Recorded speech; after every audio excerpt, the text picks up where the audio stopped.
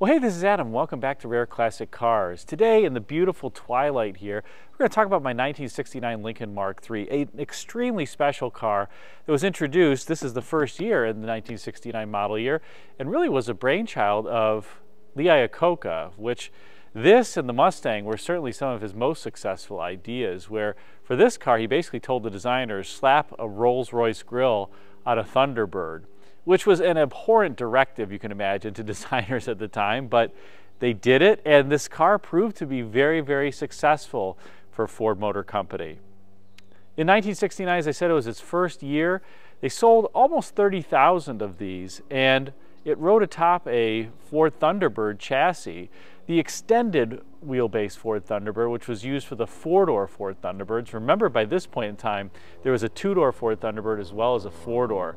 This took the 117.2-inch wheelbase from the four-door Thunderbird and used it as the basis for this Continental Mark III. And remember back then, the Thunderbird wasn't just another Ford. It really was a luxury car with beautiful fit and finish and interior trim and exterior trim it was really a great package to begin with.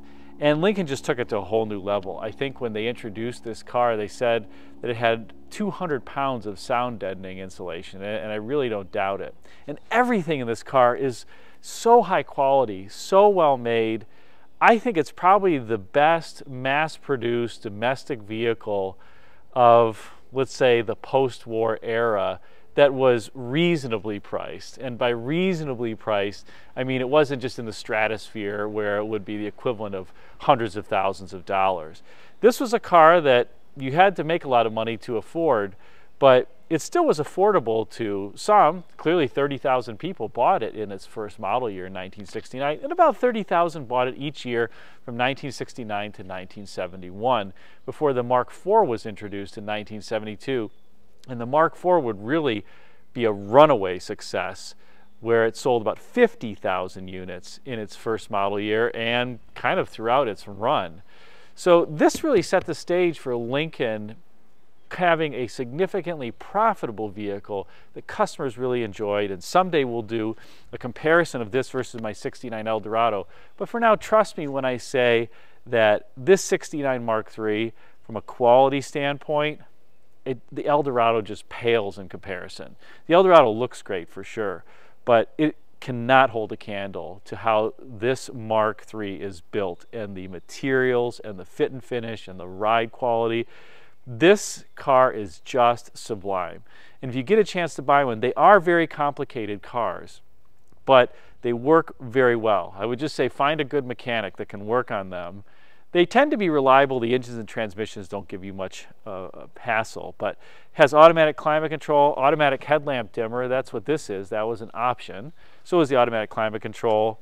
And this car also has cruise control on it, power seats, power windows, rear window defogger. So a lot of different option content on this for the time and consequently it's a bit complicated of a car. It even has a number of strange features like hydraulically operated wipers where they're powered off of the power steering pump, not off of an electric motor. So I can actually operate the wipers with the car off if I turn the steering wheel back and forth, and I have a video on that on my channel. But let's take the camera off and walk around this vehicle in this beautiful evening light, and you can see how much, uh, how much the parking lights there just resemble jewelry.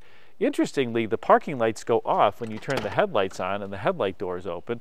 The doors won't open right now because I have the engine off. Or they may open. Yeah, they are opening. But you can see the parking lights go off when I do that. In any case, let's take a look around the vehicle. All right, so let's take a walk around this Mark III. Just an absolutely beautiful vehicle, and as I said, 69 is the first year for this. You can tell the 69s very easily because they have exposed wipers. In 1970, they would have hidden wipers. And the interior is also a one year only interior on the 69s. You can see it here with this kind of gathered leather look up here, which apparently Ford Quality Control thought that this was an error and kept rejecting the seats for this car when they would see them and they had this puckering or gathering. and that was actually the designer's intention. They were trying to have this gathered look to make it look richer. The door panel's also only one year, kind of funeral casket-ish, but certainly an expensive door panel. You can see here the passenger side. Does have a speaker in it. This car has an AM radio in addition to an 8-track tape player, but I believe it has five speakers, two in the rear, two in the doors, and one in the center of the dash. And I got to tell you, the AM radio in this car sounds phenomenal. Unfortunately, you really can't get too many AM music stations anymore, just talk radio. does also have the safety door handle here that I was riding in a new Navigator, and they've brought this back. I thought that was a cool touch on the new Navigator. And certainly carpeted lowers. But look at the look at the door hinges on this thing. I mean, this door, this I think is the thickest door on any domestic production car. And unfortunately, this isn't doing it justice. This is immensely huge. And it just closes with this bank vault like thud I mean, it just sounds great. And the windows are all trimmed. This rear window, incidentally, retracts back into the C-pillar. It doesn't go down. These hubcaps weigh about 15 pounds each. And you notice it's got this octagonal theme that some say was inspired by the Formula Racing, where they have the single nut that you take on and off, and others would say it was inspired by early Rolls Royces that had something similar. So I don't know what the Lincoln folks were thinking on this one, but cool looking design. And this would be replicated on the wheel covers for the Mark IV as well, similar theme.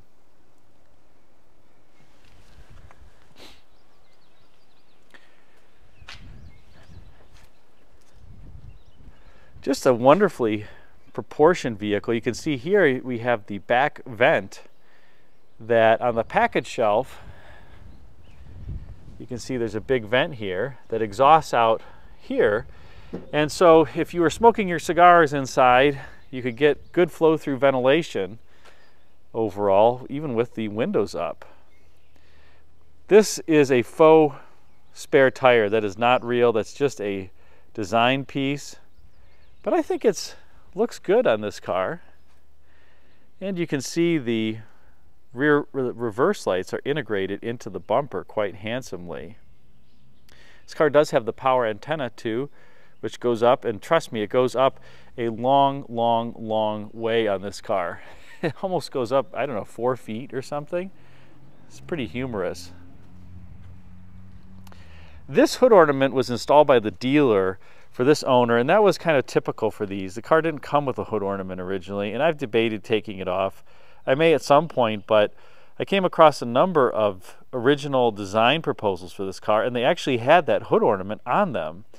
And it was taken off because this was the Ralph Nader era, and it was thought that hood ornaments were going to be outlawed. So really no cars had them, even the Eldorado at the time, that Cadillac always had kind of this stand-up hood ornament for some uh, years didn't have it either. So that was pretty typical in this year. And if we go around to the driver's side, you can see some interesting things. The first is the door locks are vacuum actuated, so watch and listen. Here, here at release. And you can use them for a few times after you shut the key off. It also has this bypass switch where if you want to operate the windows while the key isn't on, see if I hit the driver's side window, nothing happens. But if I hold this bypass and then push this, watch what happens. Kind of a cool feature. So you don't need the key in. That was on other Lincolns as well. It was gone on the Mark IV though. And here we have this beautiful blue green backlighting that was very typical of Fords of the era. I think it just looks very handsome in the evening light. You can tell this is an early Mark III because it doesn't have the yellow index pointers, the orange index pointers, nor does it have the Cartier clock that would come later. And this is the cruise control. If you want to operate the cruise control, you pull this back, I believe. Let me see. Let me turn this on. There, see the little jewel light pops on? Then you push the end of this stock and that's how you set the cruise control. So there, now it's off. This car is 38,000 original miles. When I bought it, I think it had 32,000. I've owned this car quite some time, almost 10 years, I think. You can see it has full complement of gauges, and this is the rear vent, as I was mentioning, switch you can close it or open it in the back as you see fit. And this is the wiper control that's a continuous speed, continuously variable speed. So as opposed to being intermittent where, you know, to wipe and then wait, wipe and then wait, the wipers just operate, you can have them operate very slowly. So they wipe very slowly or wipe very fast. Just a bit different approach. Of course, this car has tilt wheel, which for Fords meant you push this lever forward and that moves the wheel. You always think you're going to break that stock when you do that, but you're not. This car does not have the anti-lock brakes. It just has disc brakes on it. But you could on Mark 3s get the SureTrack system and on the Mark 4s as well. But like I said, this car does not have it. I do like how when you have the parking lights on, there's this ring around the keyhole so you can find where it is, where to place your key because this is an impossible spot it's an anti-theft feature almost on this car. For 69, it's the only year where this key, you put it in down there, you insert it down there. In the 70 and 71 model year, you'd insert it on the column. Buyer beware if you get one of these. This has the gear shift that tends to wear out, and then the cars will jump from park to reverse unknowingly. So do not leave this car idling. And unfortunately, you can't even leave it idling with the emergency brake set because if the car engages reverse, the brake automatically releases. So just shut the car off. Don't leave it unattended, especially with the fast idle on. That was a problem with these. The gear shift lever has this great feel to it, very smooth action, but it the park pawl is not that strong. And oftentimes you can see if you just tug gently on these gear shifts that it'll go into reverse. So what often happened is people would close the door and then the car would jump into reverse. So be careful on these classic Fords if you own them. Let's take a look under hood.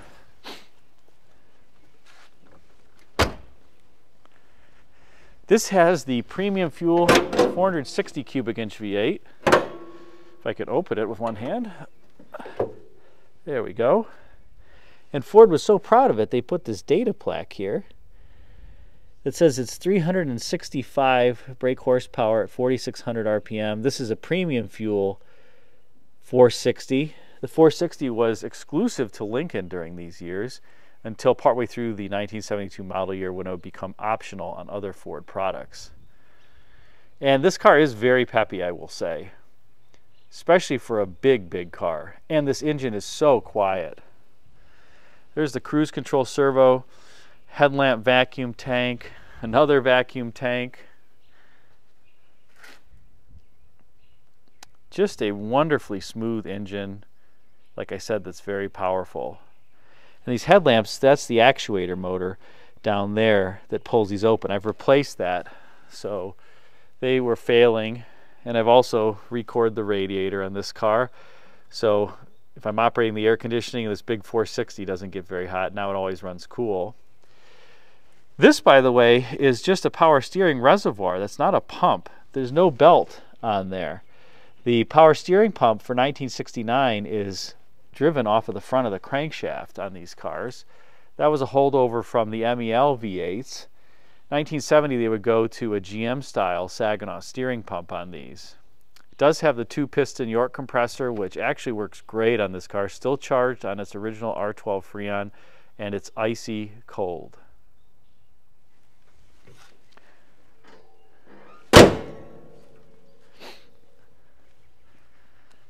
Let's take a look in the trunk. And compared to the Mark IV, the trunk in this Mark III is gargantuan. The Mark IV trunk is pitiful for as big as that car is. But this Mark III trunk is very, very nice. You can see it's a deep well trunk. Original spare there, which is a triple stripe white wall. The Mark III, I believe, was the first American car to have standard radial tires on it in 1970. It came with Michelin radials, but 1969 had triple stripe bias ply white walls. And again, deep well trunk here on the Mark IV, the gas tank is here, so it's not a deep well, and it's a pitiful trunk. I mean, I would have been very upset if I were a Mark III owner and I traded in a Mark IV. You can barely fit anything in a Mark IV trunk, whereas this thing is gargantuan. And nicely trimmed too. That's the rear floor mat down there. And the jack is over here under this little flap.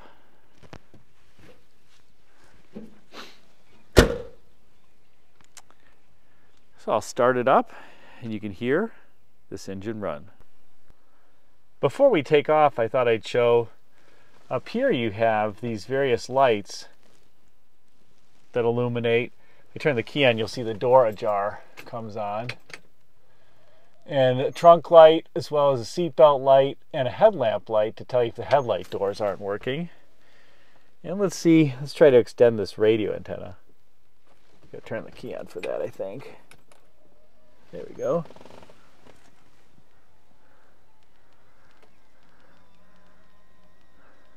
Still going. Still going. Still going. There we go. All the way up. Look at that. Pretty tall. All right, let's take it for a drive. So here you go, I'll go from the parking lights to the headlights, and you'll notice this little keyhole won't be illuminated anymore, and also the headlight indicator will come on. You can hear the vacuum, and now the headlights are on. So here we go. Such a smooth ride just everything about this car says quality. I would have been so happy with this purchase. There's a turn signal.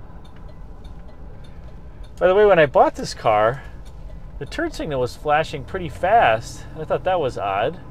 I noticed that the battery was bubbling, and it led me to realize that the battery was overcharging. The gauge wasn't really indicating a significant overcharge. But interestingly on these, then I thought, well, I got to just replace the voltage regulator. Then I was searching for the voltage regulator. Where is it on this car? Well, it's a separate piece on the back of the alternator, believe it or not. It's removable. And I bought one on eBay. I think they're hard to find now. But I searched forever. This was back in the days before internet forums were really that great. And I didn't have a shop manual at the time.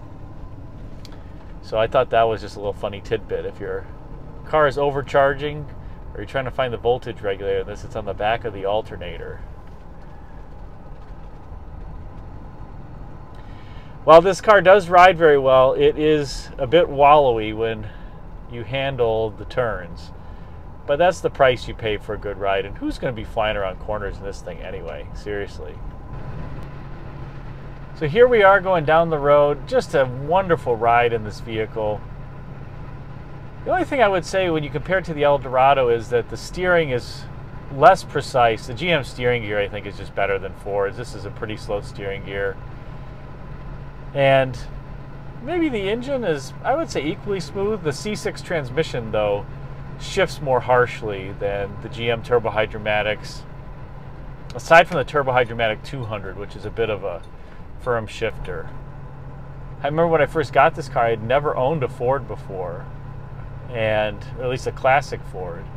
I only owned GMs by that point. This is my first Ford that I bought.